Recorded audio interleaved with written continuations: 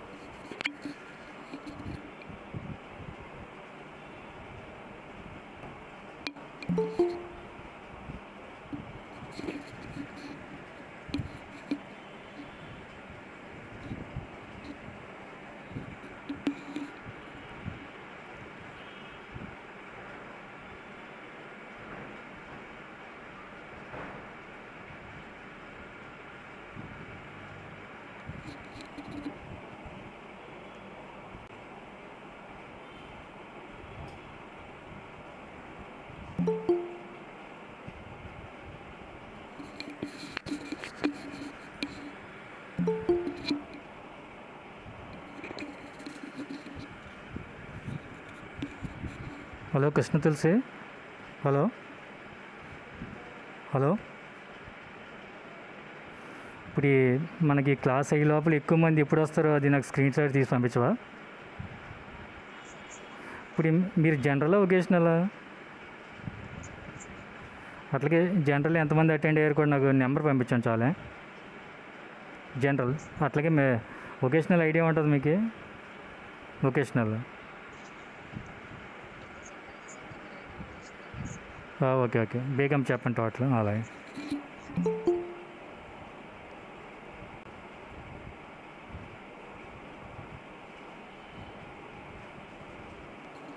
Okay dear students మన ఈరోజు క్లాస్లో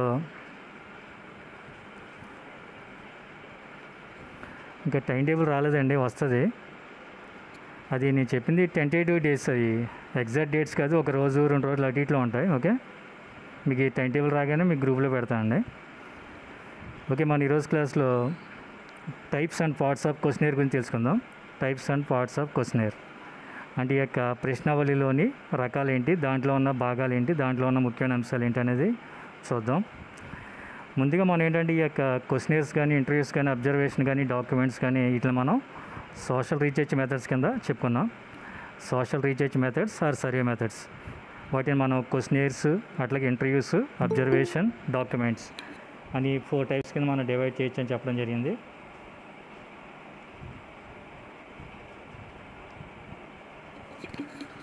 అట్లాగే మనకి క్వశ్చనేర్ అంటే ఏంటంటే set of printed questions for a survey is called questionnaire ఇప్పుడు మనకి క్వశ్చన్ క్వశ్చన్స్ క్వశ్చనేర్ అంటే ఇంగ్లీష్లో మనకి క్వశ్చనేర్ అంటే ఏంటంటే తెలుగులో ప్రశ్నావళి. క్వశ్చనేర్స్ అంటే ప్రశ్నావళులు. అంటే ఏంటంటే ప్రశ్నల యొక్క సముదాయం అన్నమాట క్వశ్చనేర్ అంటే. A set of printed questions for a survey is called questionnaire అంటే ఏంటి? సర్వే చేయడానికి ముద్రించబడిన ప్రశ్నల సముదాయాన్ని మనం క్వశ్చనేర్ లేదా ప్రశ్నావళిగా మనం చెప్పొచ్చు అన్నమాట.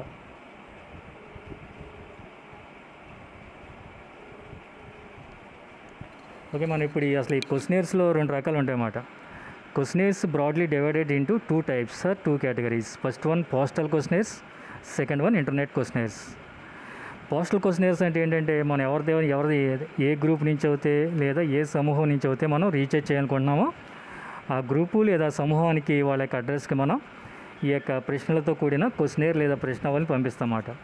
వాళ్ళు మన ఇచ్చిన టైంలో ఆ యొక్క క్వశ్చన్స్కి వాళ్ళు వాళ్ళ యొక్క రెస్పాన్స్ రాసి వాళ్ళు మనం ఏ అడ్రస్ ఇచ్చామో ఆ అడ్రస్కి మళ్ళీ తిరిగి పంపించడం జరుగుతుంది అనమాట వాటిని ఏమంటామంటే మనం పోస్టల్ క్వశ్చనర్స్ అంటామాట రెండోది ఏంటంటే internet questionnaires. Internet questionnaires are likely called as the online questionnaires అని కూడా చెప్పొచ్చు అనమాట ఈ యొక్క ఇంటర్నే ఇంటర్నెట్ క్వశ్చనర్స్లో మనం ఏ విధంగా ముఖ్యంగా ఏమంటాయంటే ఇంటర్నెట్ క్వశ్చనర్లో మొదటిది an email questionnaire includes the questions as part of the email itself ఇప్పుడు ఈ ప్రతి మనం ఏ సమూహం లేదా ఏ గ్రూప్ నుంచి అయితే ఏంటి మనం సోషల్ రీఛార్జ్ చేయాలనుకుంటున్నామో మనం వాళ్ళ యొక్క ప్రతిస్పందన తెలుసుకు తెలియ తెలుసుకోవాలనుకుంటున్నామో వాళ్ళకి వాళ్ళ యొక్క పర్సనల్ మెయిల్కి మనం ఈమెయిల్ చేస్తాం అన్నమాట ఈమెయిల్ చేసి ఆ క్వశ్చనర్ని ఈమెయిల్ చేస్తే వాళ్ళు ఆ యొక్క ఈమెయిల్లో లాగిన్ అయ్యి ఆ క్వశ్చన్స్కి వాళ్ళు రెస్పాండ్ అవుతారు అన్నమాట ఓకే అట్లాగే a questionnaire sent and attachment to an email offers much more by way of designing features.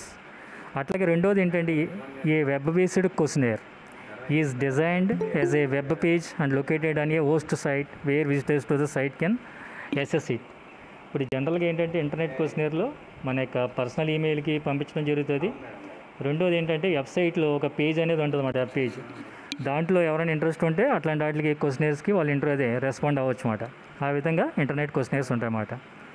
మిమ్మల్ని ఎవరైనా కూడా ప్రశ్నావళులు లేదా క్వశ్చనర్స్ ఎన్ని రకాలని అడిగితే ముఖ్యంగా ఇవి రెండు రకాలు అన్నమాట postal questionnaires second one internet questionnaires. ఈ యొక్క పోస్టల్ క్వశ్చనర్స్ అంటే ఆ యొక్క కన్సర్న్ పర్సన్ ఇంటికి మనం పోస్ట్ చేసి వాళ్ళ యొక్క రెస్పాన్స్ని మనం తెలుసుకోవడం జరుగుతుంది. వాళ్ళు ఫిల్ చేసిన తర్వాత ఈ యొక్క ఇంటర్నెట్ క్వశ్చన్స్ అయిన తర్వాత ఇది ఆన్లైన్ ద్వారా అనమాట వాళ్ళకి ఈమెయిల్కి కానీ లేకపోతే మనం వెబ్సైట్లో ఒక వెబ్ క్రియేట్ చేసి అక్కడ దాంట్లో దాంట్లో అక్కడ ఇచ్చామనుకోండి వాళ్ళు దాని ద్వారా వాళ్ళు కనెక్ట్ అయ్యి వాళ్ళు యాక్సెస్ అయ్యి మనకి ఇన్ఫర్మేషన్ పంపించడం జరుగుతుంది అనమాట okay next what are the parts or what are the features ఈ యొక్క క్వశ్చనర్స్ అంటే ఏంటో తెలుసుకున్నాం మనం. ఈ యొక్క సోషల్ రీసెర్చ్ మెథడ్స్ అనమాట అంటే సామాజిక పరిశోధన పద్ధతులు మనం చెప్పుకునేది. సామాజిక పరిశోధన పద్ధతులు మనం questionnaires interviews observation and documents అని నాలుగు రకాలుగా చెప్పుకున్నాం. మనం మొదట చెప్పుకునేది క్వశ్చనేర్ క్వశ్చనేర్ అంటే ఏంటి? Set of printed questions for a service called a questionnaire ఈ క్వశ్చనేర్ లేదా ప్రశ్నావళిని మనం రెండు రకాలుగా డివైడ్ చేయొచ్చు అని చెప్పాం. పోస్టల్ క్వశ్చనేర్స్ అట్లాగే ఇంటర్నెట్ క్వశ్చనేర్స్ అట్లాగే మనం పోస్టల్ క్వశ్చనేర్స్ అంటే ఏంటో చెప్పాం ఇంటర్నెట్ క్వశ్చనేర్స్ అంటే ఏంటో చెప్పాం. నెక్స్ట్ మనం పార్ట్స్ ఆఫ్ క్వశ్చనేర్ ఈ యొక్క ప్రశ్నావళిలో ఉన్న భాగాలు ఏంటి? లేదా ముఖ్యమైన అంశాలు ఏంటి? ఇప్పుడు ఒక ఒక research person social research person లేదా సామాజిక పరిశోధన చేయాలనుకున్న వ్యక్తి లేదా రీసెర్చ్ చేయాలనుకున్న వ్యక్తిని ఏమంటారంటే రీసెర్చర్ అంటారన్నమాట. ఈ యొక్క రీసెర్చర్ ఏ విధమైన క్వశ్చన్స్ అడగాలి అసలు ఆ క్వశ్చనర్లు ఏ విధమైన భాగాలు ఉంటాయి ఏంటి అనేది మనం తెలుసుకుందామండి.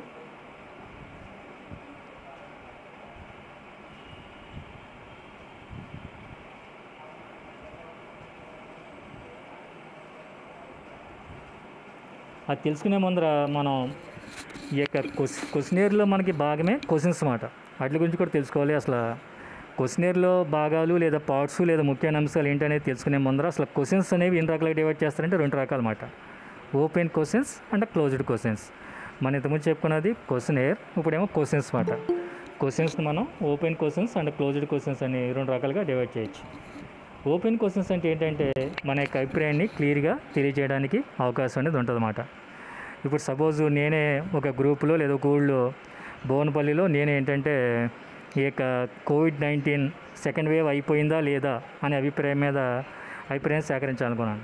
ఆ స్టూడెంట్స్ దగ్గరికి వెళ్ళినప్పుడు వాళ్ళు ఏంటంటే వాళ్ళకి అభిప్రాయం రాసే అవకాశం ఇస్తామన్నమాట. దాంట్లో వాళ్ళకి అభిప్రాయం క్లియర్గా రాయొచ్చు సెకండ్ వేవ్ అయిపోయిందంటే ఒక వ్యక్తి ఏమన్నా ఏమని రాస్తారంటే ఈ యొక్క సెకండ్ వేవ్ అనేది అయిపోయింది థర్డ్ వేవ్ కూడా రావడం సిద్ధంగా ఉందని కొంతమంది రాస్తారు.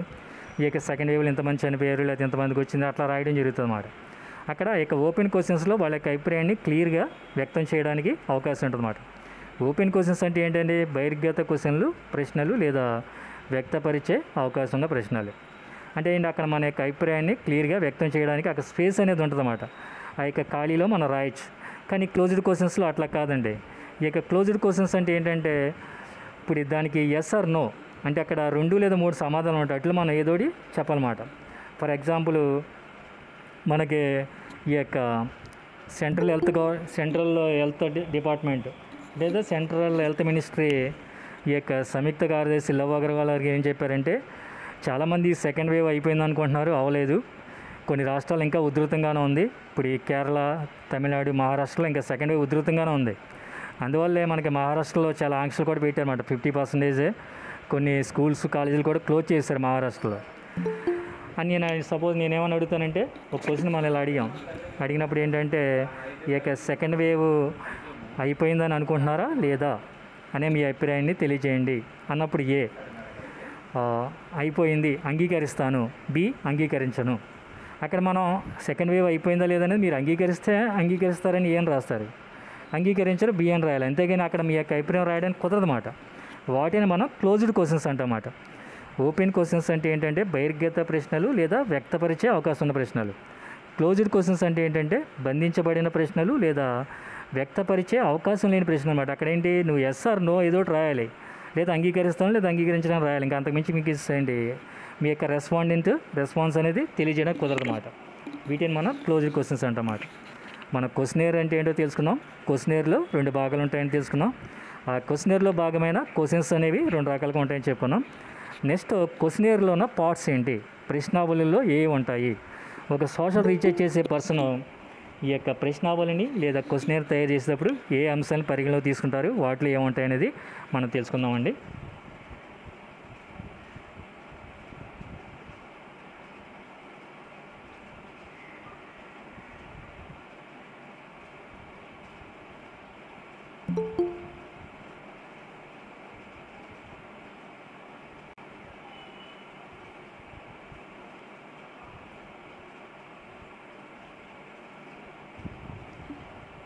Okay hear all of you listen carefully okay మనకి పార్ట్స్ ఆఫ్ ది క్వశ్చనేర్ అన్న vital elements of the questionnaire అన్న ఇంపార్టెంట్ ఫీచర్స్ ఇన్ క్వశ్చనేర్ అన్న ఒకటేనండి. అదేందండి? అంటే మన యొక్క ప్రశ్నావళిలో ముఖ్యమైన అంశాలన్న ఒకటే ముఖ్యమైన భాగాలన్న ఒకటే ముఖ్యమైన విభాగాలన్న ఒకటేనండి క్వశ్చనేర్ అంటే ప్రశ్నావళి యొక్క భాగాలు ఏంటి లేదా ముఖ్యమైన అంశాలు ఏంటి వాటిలో ఉన్న విశిష్ట లక్షణాలు ఏంటి ఏదైనా కూడా ఒకటేనండి. అవి ఏంటో తెలుసుకుందాం. All research questionnaires should include some background information about the research అక్కడ ఏంటంటే మన యొక్క క్వశ్చనర్ని తయారు చేసేటప్పుడు ముఖ్యంగా దాంట్లో మూడు భాగాలు ఉంటాయన్నమాట లేదా మూడు ముఖ్యమైన అంశాలు ఉంటాయి. వాటిని మనం విటల్ ఎలిమెంట్స్ అంటమాట విటల్ ఎలిమెంట్స్ అంటే ఏంటి? ఇంపార్టెంట్ ఎలిమెంట్స్ లేదా ముఖ్యమైన అంశాలు అన్నమాట. మొదటిది ఏముంటుందంటే బ్యాక్గ్రౌండ్ ఇన్ఫర్మేషన్ అన్నమాట. మన ప్రశ్న వాళ్ళు తయారు చేసేటప్పుడు ఫస్ట్ ఉన్నదాన్ని ఏమంటామంటే మన బ్యాక్గ్రౌండ్ ఇన్ఫర్మేషన్ అంటాం. అట్లాగే రెండోది ఏంటంటే ఇంట్రడక్షన్ టు ది రెస్పాండెంట్ అంటే మనం ఈ యొక్క ఎవరైతే చెబుతున్నారో వాళ్ళకి పరిచయం కూడా ఉంటుంది. మూడోది ఏంటంటే the allocation of serial numbers అట్లాగే మూడోది ఏంటంటే మనం ఈ యొక్క కేటాయించిన ప్రశ్నల సంఖ్యలు కూడా ఉంటాయన్నమాట. ఈ మూడు ప్రతి క్వశ్చనర్లో ఉండే భాగాలు లేదా ముఖ్యమైన అంశాలు లేదా ముఖ్యమైన లక్షణాలుగా మనం చెప్పుకోవచ్చు అన్నమాట these are the vital elements of a research questionnaire or parts in a questionnaire మొదటి దాని గురించి తెలుసుకుందాం మనం. బ్యాక్గ్రౌండ్ ఆఫ్ ది క్వశ్చనర్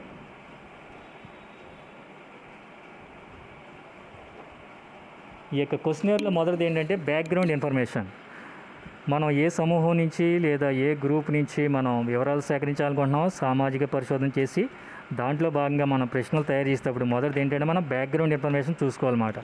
ఆ బ్యాక్గ్రౌండ్ ఇన్ఫర్మేషన్కి అనుగుణంగా కూడా మనం ప్రశ్నలు తయారు చేయాలి. మొదటిది ఏంటంటే చూద్దాం background information ఏముంటాయంటే from both an ethical and a practical point of view the researcher needs to provide sufficient background informations about the research and the questionnaire each questionnaire should have some information about మన ఒక గ్రూప్లో ప్రశ్నావళి తయారు చేసి మనం research చేసేటప్పుడు background information అనేది ఉండాలి. Background information అంటే ఏంటి? మీరు సోషల్ రీసెర్చ్ ఎందుకు చేస్తున్నారు? ఏ కారణం వల్ల చేస్తున్నారు? దాని యొక్క ఉద్దేశం ఏంటి? దాని యొక్క లక్ష్యం ఏంటి? అవన్నీ కూడా తెలియజేసేదాన్ని ఏమంటారంటే బ్యాక్గ్రౌండ్ ఇన్ఫర్మేషన్ అంటారన్నమాట. దీంట్లో మొదటిది ఏంటంటే ద స్పాన్సర్ ఎవరైతే యొక్క రీసెర్చ్ని స్పాన్సర్ చేస్తున్నారో వాళ్ళ పేరు ఉంటుంది అన్నమాట మొదటిది under whose auspices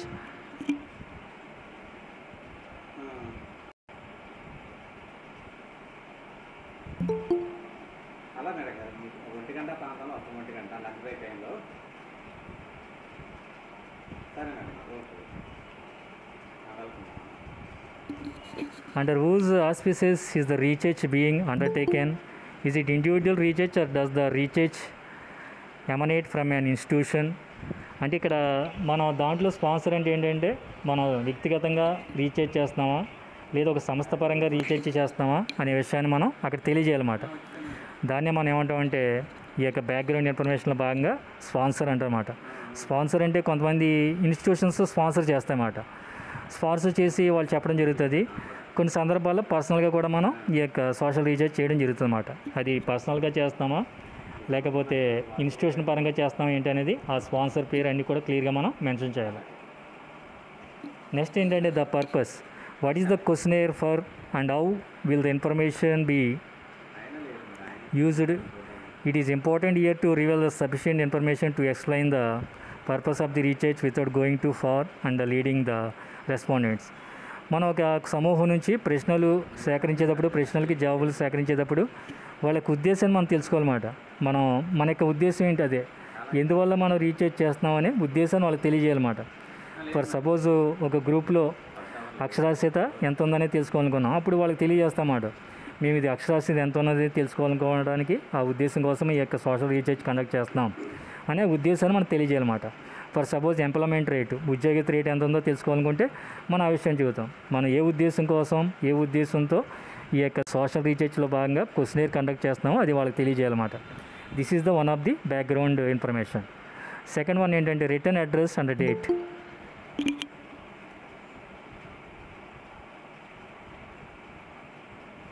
మన ఏంటంటే ఈ యొక్క క్వశ్చనర్ అయిపోయిన తర్వాత రిటర్న్ అడ్రస్ అండ్ డేట్ మనం ఎవరికైతే క్వశ్చనర్ ఇచ్చామో వాళ్ళు ఏ అడ్రస్ పంపించాలన్నీ కూడా మనం డేట్ అని కూడా క్లియర్గా రాయాలన్నమాట. It is vital that the questionnaire contains in its somewhere quite visibly the name and contact address postal or email of the persons whom the completed questionnaire is to be returned and the date by which it is required మనం suppose postal questionnaire conduct చేసినప్పుడు ఏం చేయాలంటే మనం ఎవరికైతే పంపించామో వాళ్ళకి పలానా తేదీకి return address రాయాలన్నమాట ఈ తేదీకి మీరు ఈ తారీఖు లోపు ఆ రిటర్న్ అడ్రస్కి యొక్క క్వశ్చనర్ కంప్లీట్ చేసి పంపించాలి అనేది కూడా మనం మెన్షన్ చేయాలన్నమాట. This is the one of the vital element in the questionnaire first one ఏమో the sponsor second one the purpose third one return address and date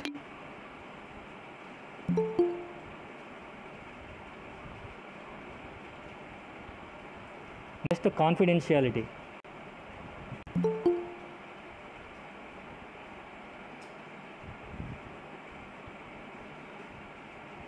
confidentiality అంటే ఏంటంటే మనకి ఇక్కడ assuming that the research is operating according to the normal code of ethics for social researches the information collected will not be made publicly available responses should be re reused on this point అంటే ఈ యొక్క research మనం ఎవరి దగ్గర నుంచి చేస్తున్నామో వాళ్ళు వేరే వాళ్ళకి తెలియజేయకూడదు అన్నమాట. కొంచెం కాన్ఫిడెంట్గా ముంచేటట్టు కూడా మనం చూడాలన్నమాట.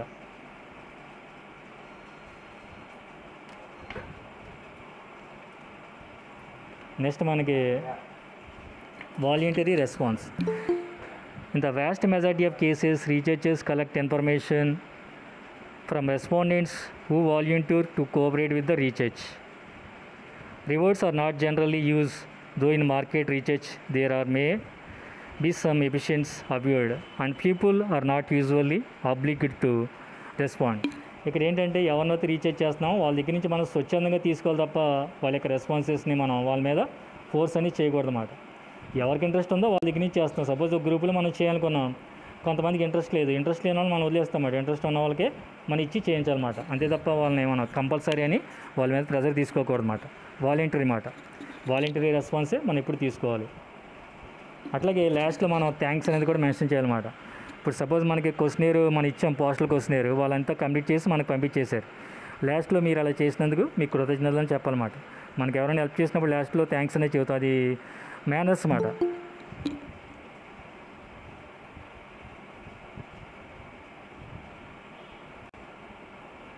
okay this is the background information.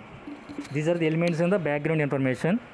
Okay already I told that what are the elements what are the vital elements of research question ఈ యొక్క క్వశ్చనర్లో ముఖ్యమైన అంశాలు ఏంటి ముఖ్యమైన భాగాలు ఏంటంటే మూడు ఉంటాయని చెప్పాను. మొదటిదేమో బ్యాక్గ్రౌండ్ ఇన్ఫర్మేషన్ ఓకే బ్యాక్గ్రౌండ్ ఇన్ఫర్మేషన్లో మనకి ద స్పాన్సర్ ది పర్పస్ అట్లాగే రిటర్న్ అడ్రస్ అండ్ డేట్ అట్లాగే కాన్ఫిడెన్షియాలిటీ అట్లాగే వాలంటరీ రెస్పాన్సెస్ అట్లాగే థ్యాంక్స్ సెకండ్ వన్ చూద్దాం ఏంటో రెండో భాగం.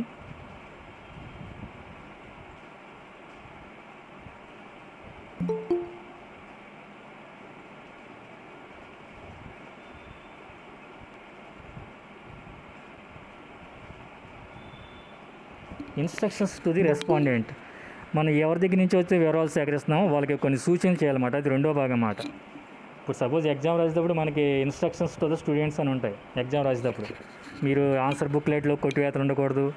మీరు జాతక రాయాలి ఇవన్నీ కూడా కొన్ని ఇన్స్ట్రక్షన్స్ ఉంటాయన్నమాట అట్లాగే మనం ఒక ప్రశ్నావళిని ఈ యొక్క క్వశ్చనర్ని సోషల్ రీసెర్చ్ పరంగా ఉపయోగించేటప్పుడు ఎవరి దగ్గర నుంచి అయితే వివరాలు సేకరిస్తున్నామో ఎవరి ప్రతిస్పందనలు మనం కోరుతున్నామో వాళ్ళకి కొన్ని సూచనలు చేయాలన్నమాట. ఆ సూచనలు ఎట్లా ఉండాలంటే it is very important that respondents are instructed on how to go about the answering the questions మనం వాళ్ళకి ఇచ్చిన క్వశ్చన్స్ లేదా క్వశ్చనర్ ప్రశ్నావళిలో ఆ యొక్క ప్రశ్నలకి ఆ యొక్క క్వశ్చన్స్కి వాళ్ళు ఏ విధంగా జవాబు రాయాలనేది వాళ్ళకి సూచించేయాలన్నమాట it is no good assuming that it is self evident అట్లాగే experience will soon prove the wrong mistakes that occur can invalidate a whole questionnaire మనం ఇట్లా చెప్పినప్పుడు వాళ్ళకి మిస్టేక్స్ చేసే అవకాశం ఉండదన్నమాట.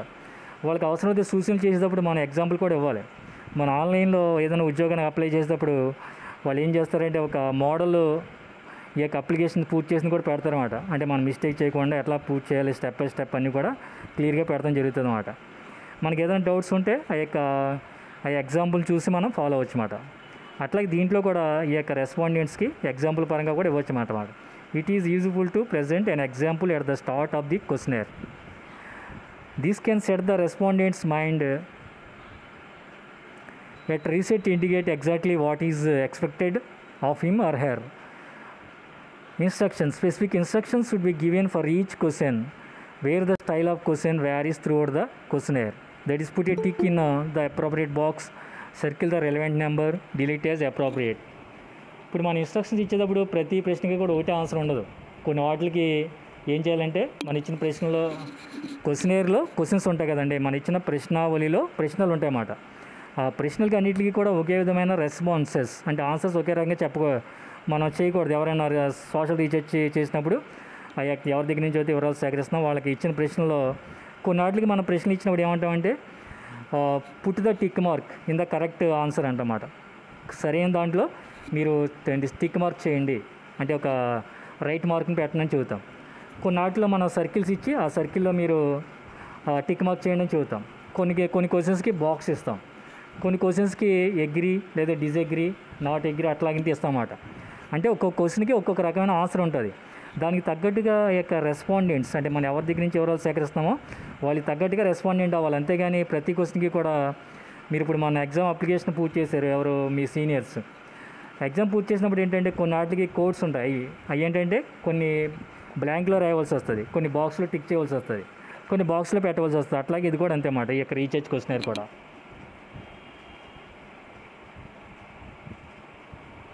ఓకే ఈ యొక్క సెకండ్ వన్ ఏంటంటే ఇన్స్ట్రక్షన్స్ టు ది రెస్పాండెంట్ మన యొక్క క్వశ్చనర్ తయారు చేస్తాడు. మొదటిదేమో బ్యాక్గ్రౌండ్ ఇన్ఫర్మేషన్ ఉంటుందని చెప్పాను దాంట్లో వన్ ఆఫ్ ది పార్ట్గా క్వశ్చనర్లో. Second one instructions to the respondent ఎవరి దగ్గర నుంచి అయితే వివరాలు సేకరించాలనుకుంటున్నామో వాళ్ళకి తగిన సూచనలు చేయాలన్నమాట. సూచన చేసేటప్పుడు ఏంటి? మీరు ఈ క్వశ్చన్కి ఇట్లా ఆన్సర్ చేయాలి ఆ క్వశ్చన్కి అట్లా ఆన్సర్ చేయాలి అని మన ఉదాహరణతో సహా ముందర ఒక పేజీలు ఇచ్చామనుకోండి వాళ్ళు క్లియర్గా రాస్తారన్నమాట. ఇప్పుడంటే అంతా కూడా ఆన్లైన్ అప్లికేషన్ ఆన్లైన్లో అప్లై చేస్తున్నాయి. ఇదివరకు అయితే అంతా కూడా మన ఆఫ్లైన్ అన్నమాట ఏదైనా అప్లికేషన్ పెట్టాలంటే. మన పోస్ట్ ఆఫీస్లోనో లేదా బ్యాంకులోనో ఎక్కడో కన్సర్న్ ప్లేస్లో అప్లికేషన్ కలెక్ట్ చేసుకుని ఆ అప్లికేషన్ ఫిల్ చేసి వాళ్ళు ఇచ్చిన అడ్రస్కి మనం రిటర్న్ చేసేవాళ్ళమాట. అది జనరల్ పోస్టా లేకపోతే ఆర్డినరీ పోస్ట్ అది స్పీడ్ పోస్టా లేదా రిజిస్టర్ పోస్ట్ అనేది వాళ్ళు ఏం చెబితే అట్లా ఫాలో అయ్యమాట ఇప్పుడు అంతా కూడా ఆన్లైన్ మాట ఇప్పుడు ఏదైనా కూడా మనకి వెబ్సైట్ అడ్రస్ ఇస్తారు. ఇప్పుడు ఫర్ ఎగ్జాంపుల్ మన ఆంధ్రప్రదేశ్ రాష్ట్ర ప్రభుత్వం ఈ యొక్క పబ్లిక్ సర్వీస్ కమిషన్ ద్వారా ఉద్యోగాలు భర్తీ చేస్తూ ఉంటుంది. ఈ యొక్క Andhra Pradesh public service commission website ద్వారానే మనకి ఆన్లైన్ ద్వారా చేసుకోవాలన్నమాట. మన వెబ్సైట్ ఏంటి? W W W dot PSC dot AP dot జేఓఈ dot in. దాని ద్వారా మనం అప్లికేషన్ నోటిఫికేషన్ పడినప్పుడు వాళ్ళు డేట్స్ ఇస్తారన్నమాట. ఇది starting date ending date fee ఎంత ఉంటుందో ఇవన్నీ ఉంటాయన్నమాట. అది ఇదివరకు అనుకోండి మనకు పోస్టల్ డిపార్ట్మెంట్ పోస్ట్ ఆఫీస్లో అప్లికేషన్ పంపేవారు వాటిని మనం కొనుక్కుని ఫిల్ చేసి ఆ యొక్క అడ్రస్ పంపించాలి. ఇప్పుడు అలా కాదు అంతా కూడా ఆన్లైన్ మాట ఏదైనా కూడా. సో నెక్స్ట్ మూడోది ఏంటంటే the allocation of serial numbers. ఈ మూడో దాంట్లో ఏంటంటే ఈ యొక్క మన క్వశ్చనర్లో మూడో భాగం లేదా మూడో ముఖ్యమైన అంశం ఏంటంటే మన ఇచ్చిన ప్రశ్నలకి నెంబర్లు అనేవి కేటాయించాలన్నమాట. With web based questionnaires the serial numbers are added automatically ఇప్పుడు మనం క్వశ్చనర్లో రెండు రకాలని చెప్పుకున్నాం. Postal questionnaires second one internet questionnaire internet questionnaire is also called as web questionnaire web based questionnaire ఎందువల్ల మనం వాళ్ళ యొక్క పర్సనల్ ఈమెయిల్ క్వశ్చన్ పంపిస్తాం? పెట్టండి. పర్సనల్ ఈమెయిల్ పంపిస్తాం. లేకపోతే వాళ్ళ యొక్క మనం ఆ యొక్క వెబ్సైట్లో ఒక వెబ్ పేజీ పెడతామన్నమాట ఈ యొక్క వెబ్ బేస్డ్ క్వశ్చనర్లో క్వశ్చన్స్ అనేవి వాటికి అవే యాడ్ అయిపోతూ ఉంటాయి అన్నమాట. ఒక క్వశ్చన్ తర్వాత రెండోదని చేస్తాం అనుకుంటే రెండోని వచ్చేస్తుంది మూడోని వచ్చేస్తుంది. అట్లాగా వాటికి అవే వచ్చేస్తాయన్నమాట other forms of questionnaire might need serial numbers to be added manually suppose suppose మనం పోస్టల్ పరంగా ఈ యొక్క క్వశ్చనర్ని ఒక వ్యక్తికి పంపించినప్పుడు మనం ముందరే నెంబర్లు వేయాలన్నమాట. ఒకటి రెండు మూడు నాలుగు ఐదు అని. అదే ఇంటర్నెట్ క్వశ్చనర్ లేదా వెబ్ బేస్డ్ క్వశ్చనర్లు అయితే వాటికి అవే అప్డేట్ అయిపోతూ ఉంటాయి అన్నమాట నెంబర్లు అర్థమైందండి? In this case each questionnaire should be numbered so that it can be dis distinguished from others and located if necessary ఇక్కడ నెంబర్లు ఇచ్చినప్పుడు మనం ఏమవుద్దంటే ఒక్కొక్కరికి ఒక్కొక్క సీరియల్ నెంబర్ ఇవ్వాలన్నమాట. ఇప్పుడు మనం ఎగ్జామ్స్ అనేవి ఆఫ్లైన్లో జరుగుతున్నాయి ఆన్లైన్లో జరుగుతున్నాయి. కాంపిటేటివ్ ఎగ్జామ్స్ అవ్వచ్చు ఎంట్రన్స్ ఎగ్జామ్స్ అవ్వచ్చు. మోస్ట్లీ ఆన్లైన్లో జరగడానికి ప్రయత్నం చేస్తున్నారు. కొన్ని ఎగ్జామ్స్ ఇలాగ ఆన్లైన్ కానీ ఆఫ్లైన్లో జరిగేటప్పుడు ఏం చేస్తారంటే ఆన్లైన్లో జరిగేటప్పుడు మనకి సిస్టమ్ ఇస్తారన్నమాట. సిస్టమ్ ఇచ్చినప్పుడు మన యొక్క కోడ్ మారిపోద్ది. మనకి వచ్చే క్వశ్చన్స్ యొక్క ఆర్డర్ పక్కన ఉన్న వాళ్ళకి వచ్చే క్వశ్చన్స్ ఆర్డర్ వేరువేరుగా ఉంటుంది అన్నమాట మనకి వచ్చే ఒకటో ప్రశ్న అనేది వేరే వాళ్ళకి ఐదో ప్రశ్న అవ్వచ్చు. అర్థమవుతుందండి? వాళ్ళకి వచ్చిన ఐదో ప్రశ్న మనకి పదో ప్రశ్న అవ్వచ్చు అన్నమాట ఎందువల్ల ఆ విధంగా ఏంటంటే మాస్ కాపింగ్ అనేది ఈ యొక్క ఎంట్రన్స్ ఎగ్జామ్స్ అవ్వచ్చు లేదా కాంపిటేటివ్ ఎగ్జామ్స్లో అది నిరోధించడానికి ఉపయోగపడుతుంది దాన్ని ఎరాడికేట్ చేయడానికి మాట అట్లాగే ఈ యొక్క క్వశ్చనేర్ని కూడా మనం పంపించేటప్పుడు ఒక్కో పర్సన్కి ఒక నెంబరింగ్ ఉండేది చూసుకోవాలన్నమాట. అందరికి ఒకే నెంబరింగ్ ఉండేటట్టు చూడకూడదు. అంటే వెబ్ బేస్డ్ క్వశ్చనర్లు అయితే ప్రశ్నలు అనేవి వాటికి అవే వచ్చేస్తాయని చెప్పాము మీకు. కానీ ఈ యొక్క పోస్టల్ క్వశ్చనర్ ఇతర క్వశ్చనర్లు మాత్రం ప్రశ్నలు అది నెంబర్ మాత్రం మనం కేటాయించాలన్నమాట. అంటే వేరే వాళ్ళకంటే మనం ఒక లొకేషన్కి వేరే లొకేషన్కి క్వశ్చన్ నెంబర్ మారాలన్నమాట. మారితే మనకి కొంచెం కరెక్ట్గా ఉంటుంది మరి ఈ గ్రూప్లో ఈ క్వశ్చనర్ ఇదని. Next the serial number can be used to identify the date of distribution మనం సీరియల్ నెంబర్ ఎందువల్ల ఇస్తున్నామంటే మనం ఏ రోజున వాళ్ళకి పంపిణీ చేసాము వాళ్ళు ఏ రోజున వాళ్ళకి ఇచ్చాము మా వాళ్ళు మనకి ఏ రోజున పంపించారు అనేది తెలుసుకోవడానికి మాట అట్లాగే the place and the possibly the person at అట్లాగే మనకి అక్కడ ఏ ప్లేస్లో ఇచ్చాం ఏ వ్యక్తికి ఇచ్చాం అనేది కూడా మనకి క్వశ్చన్ నెంబర్ ద్వారా అర్థమవుద్ది అన్నమాట. ఆ గ్రూప్ ద్వారా మనకు అర్థమవుద్ది.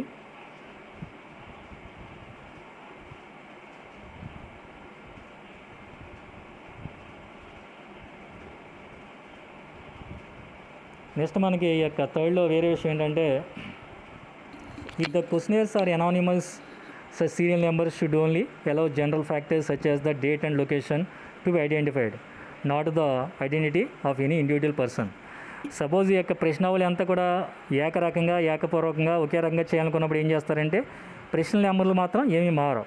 కాకపోతే అక్కడ డేటు లొకేషన్ మాత్రం మనకి మారుతుంది అంతే డేటు లొకేషన్ మనం మెన్షన్ చేసి ప్రశ్నలన్నీ కూడా ఒకే రకంగా ఇవ్వడం జరుగుతుంది అన్నమాట ఏంటి అందరి దగ్గర నుంచి ఒకే రకమైన వివరాలు సేకరించాలనుకున్నప్పుడు. ఈ విధంగా మనకి ఈ యొక్క సోషల్ రీసెర్చ్ మెథడ్స్లో భాగంగా మనకి క్వశ్చనేర్స్ అంటే ప్రశ్నావళులు అట్లాగే ఇంటర్వ్యూస్ అంటే ముఖాముఖి సమావేశాలు అట్లాగే అబ్జర్వేషన్ అంటే పర్యవేక్షణ అట్లాగే డాక్యుమెంట్స్ అంటే పత్రాలు. ఈ నాలుగు ఉంటాయని చెప్పుకున్నాం. దీంట్లో మొదటిదైన క్వశ్చనేర్. క్వశ్చనేర్ అంటే set of questions printed for a survey is called a questionnaire. ఒక సర్వే నిర్వహించడానికి ముద్రించబడిన ప్రశ్నల సముదాయాన్ని మనం ప్రశ్నావళిగా మనం చెప్పొచ్చు.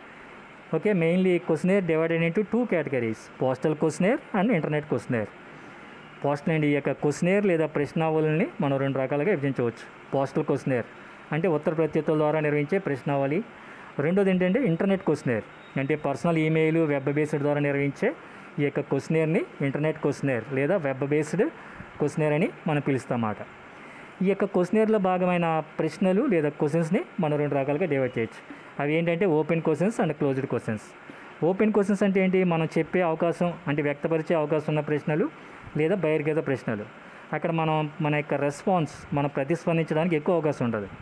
అదే క్లోజ్డ్ క్వశ్చన్స్ లేదా బంధించబడిన ప్రశ్నలు లేదా వ్యక్తపరిచే అవకాశం లేని ప్రశ్నల్లో మనం వ్యక్తపరిచే స్కోప్ అనేది చాలా తక్కువ ఉంటుంది అన్నమాట. అక్కడ టూ ఆర్ త్రీ వర్డ్స్లో చెప్పాలి. అంటే yes or no whether right or wrong అంటే అక్కడ ఎస్ అని చెప్పాలి లేదా నో అని చెప్పాలి ఏదో ఒకటే చెప్పాలి. లేదా వెదర్ రైట్ ఆర్ రాంగ్ అక్కడ రైట్ అని చెప్పాలి లేదా రాంగ్ అని చెప్పాలి? అంతేగాని ఇలా అలా అని మనకు క్లియర్గా చెప్పడానికి అవకాశం ఉండదు అన్నమాట నెక్స్ట్ మనకి పార్ట్స్ ఆఫ్ క్వశ్చనేర్ ఈ యొక్క ప్రశ్నావళిలో ఉన్న భాగాలంటే ఏంటి? లేదా vital elements of a research questionnaire మన యొక్క పరిశోధన పరంగా ప్రశ్నావళిని ఉపయోగించేటప్పుడు దాంట్లో ఉన్న ముఖ్యమైన అంశాలు ఏంటి? అంటే మొదటిది ఏమని చెప్పుకున్నాం మనం? బ్యాక్గ్రౌండ్ ఇన్ఫర్మేషన్ బ్యాక్గ్రౌండ్ ఇన్ఫర్మేషన్ అంటే ఏంటి? కొంతమంది చెబుతూ ఉంటారు అన్నమాట నా బ్యాక్గ్రౌండ్ నీకు తెలుసా అని. బ్యాక్గ్రౌండ్ అంటే ఏంటి? పూర్వ రంగం అన్నమాట. అతని యొక్క డీటెయిల్స్ ఏంటి? అతని యొక్క ఏంటి ఫ్రంట్ ఏంటి బ్యాక్ ఏంటి మొత్తం క్లియర్గా తెలుస్తాయి దాన్ని బ్యాక్గ్రౌండ్ అంటారు ఇక్కడ. బ్యాక్గ్రౌండ్ ఇన్ఫర్మేషన్ పరంగా మనం రీసెర్చ్ క్వశ్చనర్లో ద స్పాన్సర్ అని ద పర్పస్ అని రిటర్న్ అడ్రస్ అండ్ డేటు అట్లాగే కాన్ఫిడెన్షియాలిటీ వాలంటరీ రెస్పాన్సెస్ అట్లాగే థ్యాంక్స్ ఇవన్నీ కూడా ఉంటాయి మనకి సోషల్ రీసెర్చ్ పరంగా. సెకండ్ది ఏంటంటే రెండోది మనకి ఏంటంటే ఈ యొక్క ఇన్స్ట్రక్షన్స్ టు ది రెస్పాండెంట్స్ అంటే ఎవరి దగ్గర నుంచి అయితే మనం వివరాలు సేకరించాలనుకుంటున్నాం ప్రశ్నల ద్వారా వాళ్ళకి ఇచ్చే సూచనలు అనేవి రెండో దాంట్లో ఉంటాయన్నమాట. మూడోది ఏంటంటే the allocation of serial numbers. మన ఇచ్చిన ప్రశ్నలకి ఈ యొక్క ప్రశ్నల సంఖ్యని కేటాయించడాన్ని కూడా ఈ యొక్క పార్ట్స్ ఆఫ్ క్వశ్చనేర్లో మనం చెప్పుకోవచ్చు అన్నమాట. మీరు ఎగ్జామ్స్లో ఎప్పుడైనా గుర్తుపెట్టుకోండి పార్ట్స్ ఆఫ్ క్వశ్చనేర్ అన్న విటల్ ఎలిమెంట్స్ ఆఫ్ క్వశ్చనేర్ అన్న మెయిన్ ఫీచర్స్ ఆఫ్ క్వశ్చనేర్ అన్న ఈ మూడింటి గురించి రాయాలండి. Okay? Questionnaire divided into three parts. First one background information. Second one instructions to the respondent.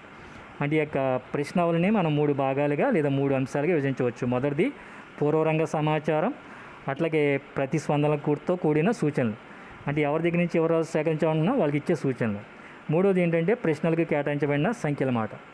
Okay these are the parts in the questionnaire okay అర్థమైంది కదండి అందరికీ కూడా? మనం నెక్స్ట్ క్లాస్లో ఈ యొక్క గుడ్ క్వశ్చనేర్ అంటే ఒక క్వశ్చనేర్ని మనం గుడ్ క్వశ్చనేర్ అని ఏ విధంగా చెప్పొచ్చు అనేది చూద్దాం మనం. ఓకేనండి అండి. లలిత హలో? తులసి? హలో తులసి? ఎంతమంది వచ్చారమ్మా? ఓకే. ఓకే నాకు ఓకే ఓకే. థ్యాంక్స్ అండి. ఒకసారి స్క్రీన్ షాట్ తీసి పంపించండి మొత్తం. అట్లే కొంచెం అవకాశం ఉంటే వేరు వేరు కూడా తీసి పంపించండి. Okay, and thank you. Okay, thank you for all.